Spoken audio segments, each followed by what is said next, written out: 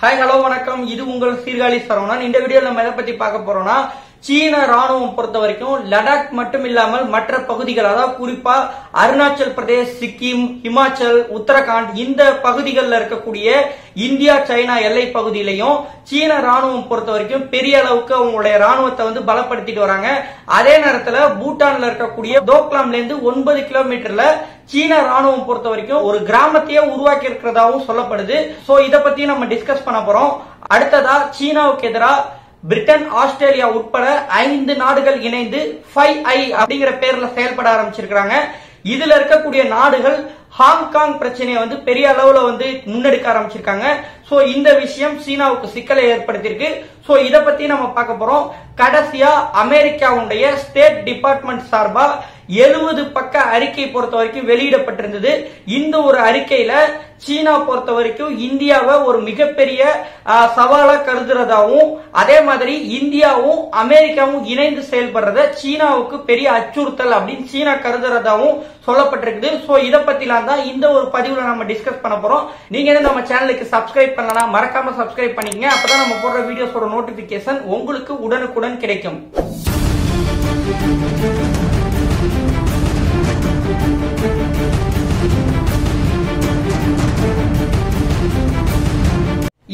China எல்லை பிரச்சனை பொறுத்த வரைக்கும் லடாக்ல இருக்கக்கூடிய பேங்காங் சோ லேக்கா இருக்கலாம் ஹாட் பிரின்ஸா இருக்கலாம் கால்வான் வேலியா இருக்கலாம் இந்த மாதிரி முக்கியத்துவமான எல்லா இடங்கள்லயும் இந்தியா வந்து சீனாவுக்கு ஒரு வலுவான பதிலடி கொடுத்தாங்க. அதே நேரத்துல முக்கியத்துவம் வாய்ந்த மலைப்பகுதிகளையும் நம்ம கைப்பற்றி வச்சுக்கிட்டோம். சோ இதுக்கப்புறம் இந்த பகுதியில நம்ம அத்துமீறல்ல பெருசா ஈடுபட முடியாது. சோ அதே நேரத்துல இந்தியா பொறுத்த வரைக்கும் ராணுவத்தை பெரிய அளவுல குமிச்சு வச்சிருக்காங்க. இந்தியாவுடைய பிரம்மோஸ் மிசைல் உட்பட டேங்க்ஸ் அதே மாதிரி இந்தியாவுடைய ஏர்போர்ட்ஸ் உட்பட அந்த பகுதிகளில் பெரிய அளவில் கண்காணிப்புல ஈடுபடுறாங்க. ஸோ அந்த இடத்துல நம்ம எதுவும் பண்ண முடியாது. ஸோ அதனால நம்ம மற்ற இடங்கள்ல அத்துமீற முயற்சிக்கலாம் அப்படிங்கிற மாதிரி சீனாவுடைய ராணுவம் பொறுத்த வரைக்கும் இப்ப அருணாச்சல் பிரதேஷ்ல இருந்து இந்த பக்கம் இருக்கக்கூடிய ஹிமாச்சல் பிரதேஷ் வரைக்கும் இருக்கக்கூடிய எல்லை பகுதி இருக்கு இல்லையா? அங்கெல்லாம் வந்து அவங்களுடைய இருப்பை வந்து பெரிய அளவில் அதிகப்படுத்தியிருக்காங்க. ஏற்கனவே இருந்த அவங்கள்ட்ட இருந்த விமானப்படை தளத்தெல்லாம் வந்து புதுப்பிச்சிருக்காங்க. அதே மாதிரி பெரிய அளவில் உயர் ரக கோபுரங்களை அமைச்சு அந்த இடத்த வந்து கண்காணிக்கிறதாகவும் சொல்லப்படுது. அதே நேரத்துல பூட்டானோட எல்லைக்குள்ள இருக்கக்கூடிய ஒரு கிராமத்தை சைனா வந்து உருவாக்குறாங்க அப்படின்னு சொல்லப்படுது. அதாவது ஏற்கனவே நம்ம பார்த்தோம் இல்லையா அந்த நேபாளில வந்து சீன ராணுவம் உள்ள வந்து ஒரு குவார்டர்ஸ் தங்கி அங்க சீனாவுடைய ஆர்மி ஸ்டாஃப்ஸ தங்க வச்சிருந்தாங்க இல்லையா? இதே மாதிரியான ஒரு ராணுவ கிராமத்தை வந்து பூட்டான் எல்லைக்குள்ள சைனா வந்து உருவாக்குறதா சொல்லப்படுது. அதே நேரத்துல இந்த ஒரு இடம் பொறுத்த வரைக்கும் டோக்லாம்ல இருந்து வெறும் ஒன்பது கிலோமீட்டர் ஆல்ரெடி வந்து டோக்லாம் இஷ்யூ அப்படிங்கறதே நம்ம வந்து டோக்லாம் அந்த இடம் யாருதுன்னா பூட்டானுக்கு சொந்தமான இடம் தான் அந்த இடத்த வந்து சீனா வந்து அத்துமீறி உள்ள வர்றப்பதான் இந்தியன் ஆர்மி போய் சைனாவை தடுத்தாங்க. ஏன்னா பூட்டானுக்கும் இந்தியாவுக்கும் இடையில இருக்கிற ராணுவ ஒப்பந்தங்கள். பூட்டான் ராணுவம் பொறுத்த வரைக்கும் ரொம்ப சின்ன ராணுவம் சோ இந்தியா தான் வந்து அவங்களுக்கு ஃபுல்லா அந்த நாட்டையும் பாதுகாக்கிறாங்க. சோ பூட்டான்ல சைனா ஒரு பிரச்சனை பண்ணா அடுத்த கட்டமா அந்த இடத்துக்கு வந்து இந்திய ராணுவம் தான் போவாங்க. இது நல்லாவே தெரிஞ்சுதான் சைனா என்ன பண்றாங்கன்னா பூட்டான் கிட்ட இப்ப பிரச்சனைக்கு போக ஆரம்பிச்சிருக்காங்க. அதே நேரத்துல இந்தியாவிற்கான பூட்டான் தூதர் பொறுத்த வரைக்கும் என்ன சொல்லியிருக்காங்கன்னா எங்க கிட்ட எந்த ஒரு அனுமதியும் சீனா பெற்றுட்டு உள்ள வரல. எந்த ஒரு கிராமத்தையும் சீனர்களுக்காக பூட்டான் அரசு கொடுக்கல அப்படிங்கிற மாதிரி த- பூட்டானுடைய நிலைப்பாடை பொறுத்த வரைக்கும் இந்தியா கிட்ட தெளிவுபடுத்தியிருக்காங்க. சோ இந்த ஒரு பிரச்சனை பொறுத்த வரைக்கும் இந்தியாவுடைய அந்த சிக்கிம் பூட்டான் சைனா. இந்த பார்டர்ல அந்த டோக்லாம் பகுதியில ஒரு பதற்றத்தை வந்து உருவாக்கி இருக்குது அதே நேரத்துல இந்த பக்கம் அருணாச்சல் பிரதேசத்திலையும் சீனா பொறுத்த வரைக்கும் எல்லையை ஒட்டி ஒரு பெரிய சாலை அமைச்சிருக்காங்க. சோ இந்த ஒரு சாலை மூலமா சீனாவுடைய ராணுவம் பொறுத்த வரைக்கும் பெரிய அளவுல அங்க மறுபடியும் குவிக்கப்படுறதா ஒரு தகவல் இருக்கு. அதே மாதிரி உத்தரகாண்ட் ஹிமாச்சல் பிரதேஷ். இந்த பகுதிகளிலையும் சீனா பொறுத்த வரைக்கும் எல்லைப்புறத்துல அவங்களுடைய டெவலப்மெண்டல் ஆக்டிவிட்டிஸ பெரிய அளவுல முன்னெடுக்கிறதா சொல்லப்படுது. அங்க இருக்கக்கூடிய ராணுவ தளங்கள் வீரர்கள் தங்குமிடம் அமைக்கிறது. இந்த மாதிரியான வேலைகள்ல வந்து சீனா வந்து பெரிய அளவுல முன்னெடுத்திருக்கிறதா சொல்லப்படுது. சோ இந்த ஒரு சூழ்நிலை பொறுத்த வரைக்கும் இந்தியா சைனாவுக்கு இடையில லடாக்ல இருந்த பிரச்சனை அப்படிங்கிறது வந்து புதிய திசையை நோக்கி பயணிக்கிறதா பாதுகாப்பு வல்லுநர்கள் பொறுத்த வரைக்கும் கருதுறாங்க. சோ இந்தியா பொறுத்த வரைக்கும் இந்தியாவும் முழுமையா தயார் நிலையில இந்தியாவுடைய படையை வந்து குமிச்சு வச்சிருக்காங்க. இந்தியா சீனா எல்லை பகுதி முழுவதையுமே இந்தியா பொறுத்த வரைக்கும் ஒரு தீவிர கண்காணிப்பை மேற்கொண்டிருக்காங்க. சோ சைனா பொறுத்த வரைக்கும் ஏதாவது ஒரு இடத்துல அத்துமீற முயற்சிச்சா இந்தியா பொறுத்த வரைக்கும் கடுமையான பதிலடியை கொடுப்பாங்க அப்படிங்கறதுல எந்த ஒரு மாற்று கருத்தும் இல்ல. சோ இது இதுல இருக்கிற விஷயம். அடுத்ததா Britain America Canada Australia New Zealand இந்த ஐந்து நாடுகளும் இணைந்து சீனாவுக்கு எதிராக ஃபைவ் ஐ அப்படிங்கிற ஒரு புதிய டிப்ளமேசியை உருவாக்கி இருக்காங்க அதாவது இந்த ஃபைவ் ஐ பிரின்சிபல்னா என்னன்னா இந்த ஐந்து நாடுகளுக்கும் இடையில இருக்கக்கூடிய உளவு தகவல்கள் அத்தனையும் பரிமாறிப்பாங்க. அதே மாதிரி பாதுகாப்பு சார்ந்த ரகசியங்கள் சேட்டலைட் புகைப்படங்கள் இதெல்லாம் வந்து பரிமாறிப்பாங்க. சோ இந்த ஃபைவ் ஐ டிப்ளமசி அப்படிங்கிறது இந்த ஐந்து நாடுகளுமே வந்து சீனாவுக்கு எதிராக செயல்படக்கூடிய நாடுகள் அப்படிங்கிற மாதிரி சொல்லப்படுது. அதே நேரத்தில் இந்த ஐந்து நாடுகளும் இணைந்து ஹாங்காங் விவகாரத்தை வந்து தீவிரமா முன்னெடுத்தாங்க. குறிப்பா ஹாங்காங்ல வந்து பெரிய அளவுல மனித உரிமை மீறல்கள் நடக்குது. அங்க ஜனநாயகம் அப்படிங்கிறது வந்து சுத்தமா இல்ல.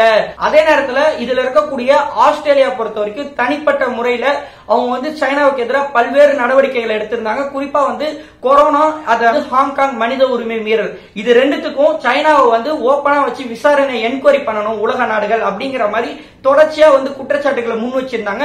சோ இந்த நிலையில சீனாவுடைய வெளியுறவுத்துறை அதிகாரி லாவோ லிஜியன் அவங்க வந்து செய்தியாளர்களை சந்திச்சு இது சம்பந்தமா பேட்டி அளிச்சிருந்தாங்க. அவங்க அப்ப என்ன சொன்னாங்கன்னா இந்த மாதிரி ஆஸ்திரேலியா பொறுத்த வரைக்கும் தேவையில்லாம சீனாவுடைய உள்நாட்டு விவகாரங்கள்ல தலையிடுறாங்க. அவங்களுடைய ஊடகங்கள் இருக்கு இல்லையா? ஆஸ்திரேலியாவுடைய ஊடகங்கள். தொடர்ச்சியா வந்து சீனாவுக்கு எதிராக செய்திகளை பரப்புறாங்க. சீனாவுக்கு எதிராக அவதூறு பரப்பக்கூடிய நாடா ஆஸ்திரேலியா மாறிக்கிட்டு வராங்க. இதே நிலை தொடர்ந்துச்சுன்னா நாங்க ஆஸ்திரேலியா கூட தூதரக உறவை கூட வந்து முடிச்சுக்கிறதுக்கான வாய்ப்பு இருக்கு அப்படிங்கிற மாதிரி சொல்லியிருந்தாங்க. அதே மாதிரி அவங்க ஃபைவ் ஐ டென் ஐன்னு வச்சுக்கிட்டோம். அவங்களுடைய கண்ணு வந்து குருடாகாம இருக்காங்கிறத பாத்துக்கிட்டோம் அப்படிங்கிற மாதிரி இந்த ஐந்து நாடுகளுக்கும் எச்சரிக்கை விடுக்கும் வகையில சீனா பொறுத்த வரைக்கும் கருத்து தெரிவிச்சிருந்தாங்க. சோ இந்த கருத்துக்கள் இந்த ஃபைவ் ஐ டிப்ளமசியில இருக்கக்கூடிய நாடுகளுக்கும் சீனாவுக்கும் இடையில ஒரு பெரிய மோதலா மாறுறதுக்கு வாய்ப்பு இருக்கிற மாதிரி சொல்லப்படுது. அதே நேரத்துல ஆஸ்திரேலியாவுடைய பிரதமர் ஸ்காட் மோரிசன் பொறுத்த வரைக்கும் அவங்க என்ன பேட்டி கொடுத்தாங்கன்னா இந்த மாதிரி ஆஸ்திரேலியா பொறுத்த வரைக்கும் சைனா உட்பட எந்த நாடுகளையுமே எதிரியா நினைக்கல. அதே நேரத்துல ஹாங்காங் போன்ற பகுதிகளில் மனித உரிமை மீறல் நடக்கும்போது அதை வந்து எதிர்த்து கேள்வி கேட்கக்கூடிய உரிமை வந்து எல்லா நாட்டுக்கும் இருக்கு அப்படிங்கிற மாதிரி சொல்லியிருந்தாங்க. சோ இந்த விஷயம் ஆஸ்திரேலியா சீனா மற்றும் அந்த ஃபைவ் ஐ டிப்ளமேசியில் இருக்கக்கூடிய கனடா பிரிட்டன் அமெரிக்கா நியூசிலாந்து இந்த நாடுகளுக்கு இடையில ஒரு பதற்றத்தை அதிகரிச்சிருக்கு. சோ இது இதுல இருக்கிற விஷயம். அடுத்ததா அமெரிக்காவுடைய ஸ்டேட் டிபார்ட்மெண்ட் பொறுத்த வரைக்கும் ஒரு எழுபது பக்க அறிக்கையை வந்து வெளியிட்டு இருந்தாங்க அமெரிக்காவுடைய பென்டகன் ஆண்டு அறிக்கைக்கு ஈக்குவலா இந்த ஒரு அறிக்கை பொறுத்த வரைக்கும் பார்க்கப்படுது. இந்த ஒரு அறிக்கையில அவங்க என்ன சொல்லியிருந்தாங்கன்னா இந்த மாதிரி சைனா பொறுத்த வரைக்கும் ஆசிய நாடுகளை வந்து அவங்களுடைய கட்டுப்பாட்டை கீழே கொண்டு வரதுக்கு பெரிய அளவுல முயற்சி எடுத்துக்கிட்டு இருக்காங்க. குறிப்பா Vietnam Philippines Malaysia Indonesia Sri Lanka Bangladesh Myanmar Thailand இந்த நாடுகள்ல சீனா வந்து அவங்களுடைய ஆதிக்கத்தை நிலைநிறுத்தத்துக்கு தொடர்ச்சியா முயற்சி எடுத்துக்கிட்டு இருக்காங்க. அதுக்கு அவங்க கையில எடுத்திருக்கக்கூடிய இரண்டு விஷயங்கள். ஒன்னு வளர்ச்சி திட்டங்கள். அப்படி இல்லைன்னா வந்து அந்த நாட்டுல வந்து ராணுவ ரீதியான நடவடிக்கை எடுத்து ஆக்கிரமிப்புகள்ல ஈடுபடுறது. சோ அதே நேரத்துல இந்த ஏசியால இருக்கக்கூடிய சில நாடுகள் அமெரிக்கா கூடயும் நல்ல உறவுல இருக்காங்க. சீனா பொறுத்த வரைக்கும் இந்தியாவை வந்து ஒரு மிகப்பெரிய எதிரியாவும் ஒரு போட்டியாளராகவும் கருதுறாங்க. அதே நேரத்துல இந்தியா அமெரிக்கா இடையில ஏற்பட்டிருக்கக்கூடிய உறவு அதாவது வந்து இந்தியா சைனா பிரச்சனையில சைனாவை கூட இந்தியாவுக்கு தான் அமெரிக்கா பொறுத்த வரைக்கும் அதிக அளவுல ஆதரிக்கிறாங்க. சோ இந்தியாவுக்கும் அமெரிக்காவுக்கும் ஏற்பட்டிருக்கக்கூடிய உறவு பொறுத்த வரைக்கும் சீனா வந்து வரும் நாட்கள்ல சீனாவுக்கு வந்து ஒரு பெரிய அச்சுறுத்தலா மாறும் அப்படிங்கிற மாதிரி சீனா கருதுறாங்க. சோ அதே நேரத்துல சீனாவை பொறுத்த வரைக்கும் உலகத்துல இருக்கிற நிறைய நாடுகளை அவங்களுடைய கட்டுப்பாட்டுக்குள்ள கொண்டு வந்து அமெரிக்கா கிட்ட இருக்கிற சூப்பர் பவர் அப்படிங்கிற பட்டத்தை வந்து அவங்க வாங்குறதுக்கும் முயற்சி செஞ்சுக்கிட்டு இருக்காங்க. சோ அதே நேரத்துல சீனா பற்றி உலகத்துல இருக்கக்கூடிய மற்ற நாடுகளுக்கு பெரிய அளவுல இன்னும் விழிப்புணர்வு ஏற்படல. அதாவது அவங்க என்ன சொல்றாங்கன்னா இந்த மாதிரி சீனா வந்து வளர்ச்சி திட்டங்கள் மேற்கொள்றோம் அப்படின்னு சொல்லி அந்த நாட்டுக்கு செலவு பண்ணி அவங்கள கடனாளியா மாத்தி அந்த நாட்டுல வந்து அவங்களுடைய ஆதிக்கத்தை நிலைநாட்டுறாங்க இல்லையா? சோ இது பத்தின விழிப்புணர்வு நிறைய நாடுகளுக்கு இல்ல அப்படிங்கிற மாதிரி அந்த ஒரு அறிக்கை பொறுத்த வரைக்கும் தெரிவிச்சிருந்தது. சோ இது ஒரு முக்கியமான விஷயம். சோ இதான் இந்த வீடியோ நான் சொல்ல வந்த விஷயம். இதை எல்லாம் நீங்க என்ன நினைக்கிறீங்க அப்படிங்கிற உங்களுடைய கருத்துக்களை அவசியம் பதிவு பண்ணுங்க. இந்த வீடியோ உங்களுக்கு பிடிச்சிருந்ததுன்னா உங்களுடைய நண்பர்களுக்கும் ஷேர் பண்ணுங்கன்னு கேட்டுக்கிறேன். தேங்க்யூ ஃபார் வாட்சிங் ஜெய்ஹிந்த்